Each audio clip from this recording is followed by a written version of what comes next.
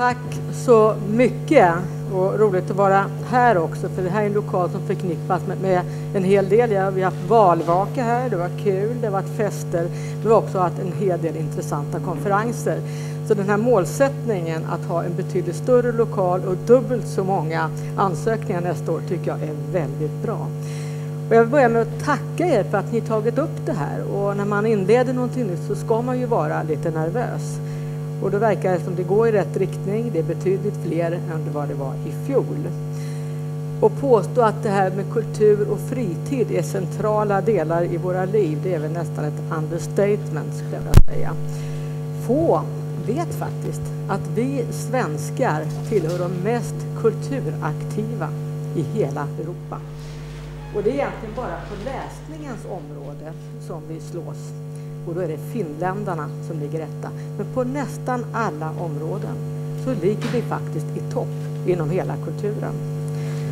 Men om man har någon form av funktionsnedsättning, jag tycker att det här är ett besvärligt ord, jag, gillar det egentligen inte, men, det är ju nu det som råkar vara det som gäller för dagen, så kan det ibland vara svårt att utöva eller ta del av all den kultur eller fritid som faktiskt finns på samma villkor som många andra.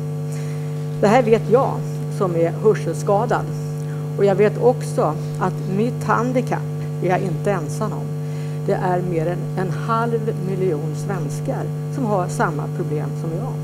Som inte kan följa tv-program eller film om de inte är textade. Så att det vi gör betyder en hel del. Och att er inställning på PTS, att tekniken finns, är viktig. Men vi vet ju också att ibland saknas lösningar. Så därför är den här innovationstävlingen på temat kultur och fritid oerhört viktig. Jag och många med mig vet ju också att informations och kommunikationslösningar som är enkla och tillgängliga också ökar möjligheterna för oss alla att känna oss välkomna och ta del av all den rika kultur och den fritid som faktiskt finns. Och pristagarna här som så småningom presenterat ger ju också goda exempel på hur det här finns. Så varmt tack för det. Kultur är ju liksom fritid ett begrepp som är lite svårt att ringa in. Vad är det egentligen man räknar till kultur och till fritid? En del räknar kanske nästan alltid. Men det kan ju handla om film, föreningsaktiviteter, konst, museibesök, spel, lek, teater, friluftsliv, idrott självfallet och litteratur. Och egentligen är det också bara i fantasin som sätter gränser också här. Och så är det också med de möjligheter som vi får genom tekniken. Och varje dag så förbluffas vi ju av de nya tekniska lösningar och de innovationer som gör livet lite bättre, lite enklare och mycket roligare. Vad är det som är problemet?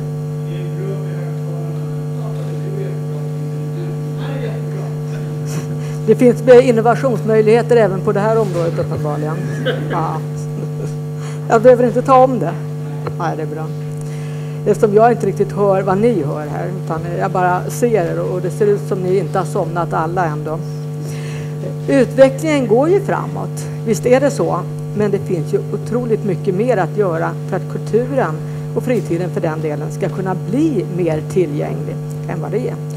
Och då betyder det också något, för på mitt område, att kulturlivets aktörer faktiskt samverkar, använder och utvecklar de här möjligheterna som finns. För vad spelar våra tjusigt formulerade politiska mål för roll om kulturen inte är tillgänglig eller inbjudande för den delen. Så vad gör vi då på kulturpolitikens område? En hel del faktiskt. Jag ska ge några smakprov på det. Textning av filmer och tv är ett exempel. Jag nämnde det kort. Att mellan en halv och en miljon svenskar är beroende av att också svenska program textas och svenska filmer textas för att man ska få en möjlighet att hinna med eller kunna hänga med. Syntolkning är ett annat exempel där vi också skärper kraven. Vi arbetar med en nationell strategi för digitalisering, elektronisk tillgång och digitalt bevarande. Och den här strategin innebär ju självfallet att tillgängligheten ökar för alla men kanske extra mycket för de som har ett sådant behov också. Bland de yrkesverksamma på teater och dansområdet så ser vi också att allt fler uppsättningar består av både skådespelare och dansare med eller utan funktionshinder på scenen. Och det är också något som är relativt nytt. På musei och biblioteksområdet pågår ju ett ständigt arbete för att anpassa lokaler och göra informationen tillgänglig också i olika format. Och här har jag haft rätt mycket synpunkter därför att jag brukar gå runt på museer med en god vän som är starkt synskadad. Och då brukar det här med tillgänglighet och design krocka. Ni vet säkert vad jag menar. Det ska se snyggt ut men det kanske inte alltid är så läsbart. Riksantikvarieämbetet har inom Nordiska ministerrådets häng deltagit i samarbetsprojekt för att göra kulturhistoriska miljöer tillgängliga. Appar i telefoner. Otroligt intressant. Och det här har vi bara sett början av. I den nya språklagen som riksdagen tog för ungefär två år sedan framgår bland annat också att det allmänna har ett särskilt ansvar för att skydda och främja det svenska teckenspråket. Inom Riksteatern finns Tyst teater som har över 30 års erfarenhet av att producera scenkonst på teckenspråk. Och jag behärskar förvisso inte teckenspråk men jag hade en stor behållning också av att se flera av deras uppsättningar. Så det är ett tips om några av er inte har gjort det. Regeringens satsning Skapande skola handlar om att med läroplanen som bas främja kulturskapares arbete i skolan. Och det här är också för att utveckla de kulturella och kreativa delarna hos eleverna. Men det innebär också att eleverna i särskolan har fått helt nya möjligheter till kulturlivet än vad man hade tidigare. På handikappområdet så har ju bidragen till Svenska Handikappidrottsförbundet och Svenska Dövidrottsförbundet inneburit att många barn, men också ungdomar och vuxna, har kunnat hitta sin idrott. Det var några exempel och det går ju naturligtvis att göra mer och vi gör mer. Så att det går inte att räkna upp allting här. De övergripande ambitionerna på det här området fram till 2016 handlar om tre saker och ni känner säkert igen den första. Det är den fysiska tillgängligheten. Det finns fortfarande mycket kvar att göra där. Den ökar tillgängligheten till information och det här är ju också något nytt därför att tekniken har givit oss möjligheter vi inte kunde drömma om för bara tio år sedan. Och förstås till innehållet i verksamheterna. Och det ska självklart vara möjligt att ta sig in och röra sig i lokalerna vare sig man nu är publik, om man är aktiv på scen eller om man för den delen arbetar i lokalerna. Och för att informationen ska vara tillgänglig för alla så ska den ju också finnas i olika format. I punktskrift, i teckenspråk, i olika pdf-filer som är tillgängliga. Och webbplatserna och e-tjänsterna måste ju också utformas så att de kan nyttjas av alla tänkbara, inte bara de som nu enligt definitionen har någon form av funktionshinder. För det har vi ju alla i någon mening.